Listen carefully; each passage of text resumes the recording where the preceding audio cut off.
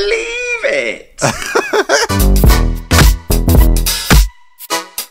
Okay, so we're talking about G Flat today, which is a short at the BFI Flare 2023 Film Festival. We are Boys on Film. Welcome back. Thank you for watching. My name is Phil. Over there is Sean. And Rich Wilson is one of the stars of the short. Where has he been? He hasn't done anything for a while, has he? I can't believe it. you don't believe it. I don't believe it. See, that's how that's my brain for you. I Yeah, mean, he's probably done so much other stuff, but that's all we remember him for, isn't it? One foot in the grave, which is a good thing in itself because he was very funny in that. But yeah, he plays a 84 year old cellist um, who's lost his husband to cancer and his ability to to play because of a stroke. So obviously, going in knowing that with that synopsis, you know that it's going to be quite moving and quite. I mean, I said to you, I sent a message saying I watched it last night before going to bed. Probably not the sort of thing I want to watch before going to bed. I didn't have dreams, but yeah, it really, it really moved me. This short, actually, I thought it was really well done. Yeah, it's quite powerful. As you say, Richard Wilson, who has been up to stuff, who knows what. A lot of theatre, maybe. Theatre maybe. work, maybe. Yeah. Maybe. So he's an octogenarian gay widow with a love for classical music, ex cellist, or still has a passion for playing the cello, but obviously now doesn't have the ability because uh, they've had a stroke.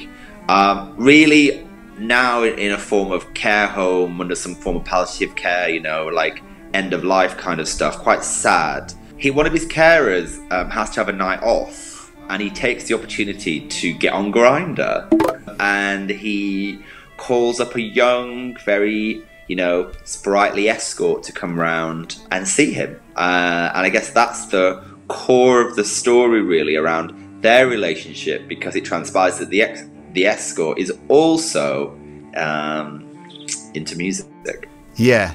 I mean, it's very sad for many reasons, but obviously he's there, he can't get out of the house. So you've got that empathy to start with, but also because of his love of music, because you see the cello in the corner of the room. It's kind of neglected, but it's not neglected because he, he doesn't want to play it. Obviously, he just can't play it um, how he used to play. So you kind of feel. I don't know, you can really feel that sadness, but you just know that he's frustrated and the age that he is as well that all plays into it as well so there's a lot going on i think there's a lot to think about and um, i think this was written and directed by a guy who's worked in theatre and i can definitely see that uh, you know influence in this because it does feel like something on the stage. But i don't think it feels stagey though. It doesn't feel clunky. It feels very fluid. Yeah, it's not too much of a set piece, but you can feel that spirit, especially I think with the way it's framed and the lighting. What you see prior to the lovely escort arriving is a window into his life, which is fairly miserable. Yeah. Um, you know, he is supported by a team of carers, but what's very evident is, I mean, they couldn't give two hoots. So, like, it's there's not a lot. The duty of care is not really there. So, um, it's it's quite sad and lonely. Um, his experience, and so yeah, I think it's it's quite powerful. And also through the short, you see him trying to take back something, trying to take back control of his own life uh, in a way that you know, I won't spoil it, but how he wants to proceed. You know what I mean? And I think that's really powerful as well, which is basically getting back onto his own terms. Yeah, uh, and I think it was filmed in Wales as well. Um, like I said, the writer director's Peter Darney has worked in film and and theatre, but I I really. I, I wouldn't say enjoyed it. I did enjoy it, even though it's a tough subject matter, and I think the way it plays out is quite tough. Um, but I think it's well put together. It's definitely thought provoking. I mean, you you kind of have this relationship with an 84 year old man and a 20 something guy as well. So there's obviously that generational gap, but they kind of have, you know, things in common because they're both music fans. Again, mm. without spoiling anything, you can you can kind of I, I liked that I liked that that connection as well because so many times in films and TV shows we see older people who are just treated as you know kind kind of people without without minds and people that that don't connect with the younger generation. So I think it's nice to have that.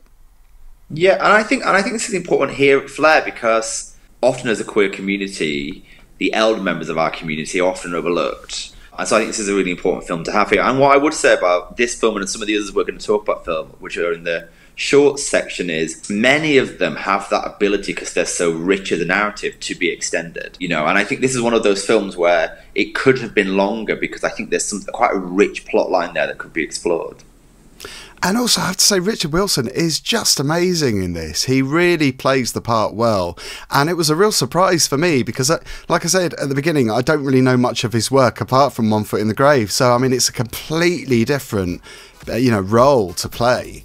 And I, I, I really love that he's grabbed this by the horns, as it were. no pun intended there, but I, I love that. I love the fact that he's done something completely yeah, was, different. It was it was it was great, and it's and, it, and do you know what? If you get a chance to see it, it I think it's 17 minutes of the short. Yeah, um, it's it's well worth it.